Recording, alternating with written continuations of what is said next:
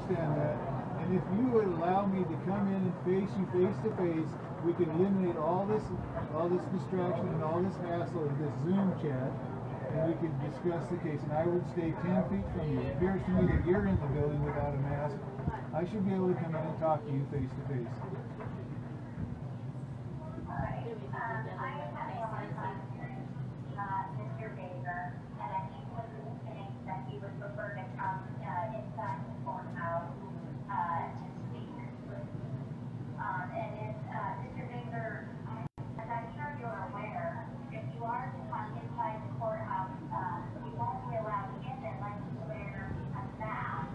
It appears that you're in there without a mask.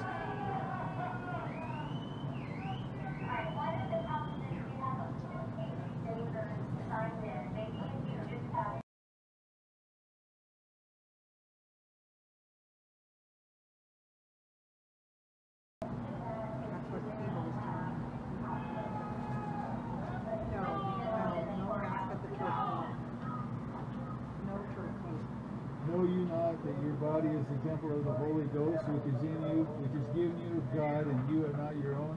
Therefore glorify God in your body and in your spirit, which are God's. I will not violate my conscience and, and, and minimize the effectiveness of the immune system that God gave me by putting on a mask. you're saying you won't wear a mask. Um, I'm still having a, a rough time hearing you, and I think you're having a rough time hearing me. Um, take up some other cases again, take you up to, and, you know, take up some Your Honor, like I said, Your Honor, as I stated before, if you just simply allow me to come in face to face, I will stay 10 feet away from you if you're more com- comfortable with that. But we could talk face to face and eliminate all this hassle. Okay, so,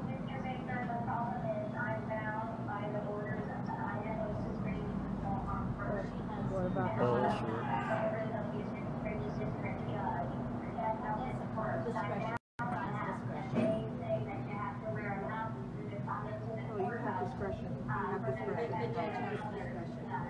You don't have discretion. So, uh, I can't let you in the courthouse. No, she just doesn't want to. She has discretion. Yeah. You could you you could stand up against that unlawful order and allow. Tell her to come in. Tell her to come in.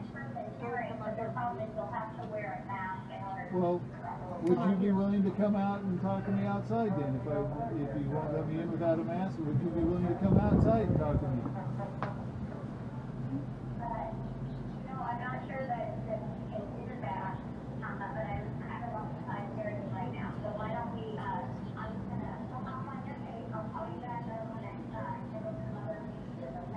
Okay.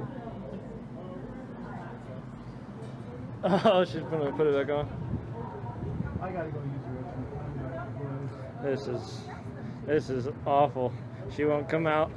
She asked if she come out. She just says, ah, I can't hear. I'm gonna see you later. Bye.